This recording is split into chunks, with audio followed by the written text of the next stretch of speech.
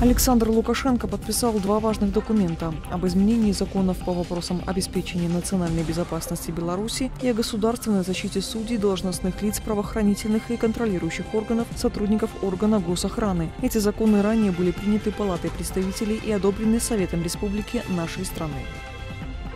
Гуманитарный груз китайской вакцины от COVID-19 доставят сегодня в Беларусь. Самолет, на борту которого 300 тысяч доз препарата Синофарм, вылетел из Пекина. В феврале прошлого года по указанию президента наша страна стала первой, которая направила материальную гуманитарную помощь в КНР. Поднебесная также оказывает поддержку Беларуси в борьбе с коронавирусом. Комитет госконтроля проводит горячие линии по вопросам доступности рынков. Покупатели, производители и представители торговли могут высказать замечания и внести конструктивные предложения уже с сегодняшнего дня. Телефоны будут доступны неделю. В Могилевской области звонки примут в пятницу. Августовский канал готовится к открытию нового туристического сезона. Он стартует 22 мая с регионального праздника народного творчества. Гостей ждут сразу несколько локаций. Например, запланирован турнир по силовому экстриму. Здесь можно будет посоревноваться в забегах или показать мастерство во владении ручной пилой.